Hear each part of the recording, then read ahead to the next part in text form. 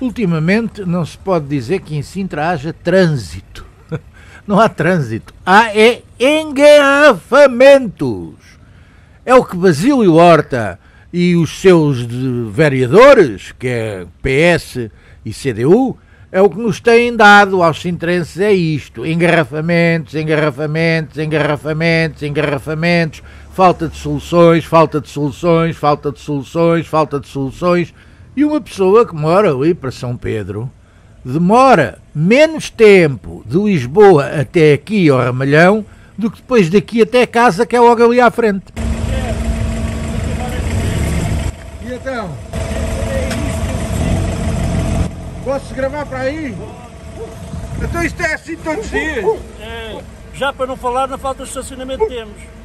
É assim todos os dias, todos os dias, caralho. Quanto tempo é que demoram para ir daqui à vila? Ah, provavelmente uma meia hora. Para fazer mais?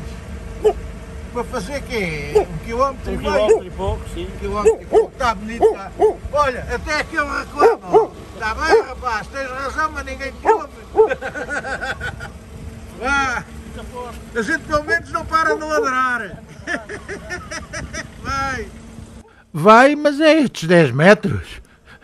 Porque chega ali à frente, trava. E agora, para chegares a casa, como está aí com os bons 45 minutos. É verdade. Ah, e até os transportes públicos, como se pode ver, por aqui passam. O que é muito bom.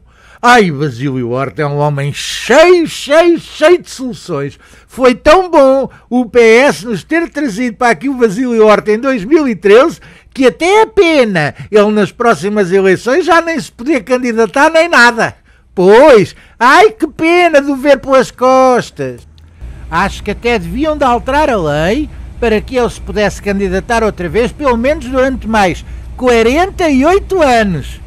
48 é o número que ele deve gostar muito, pois.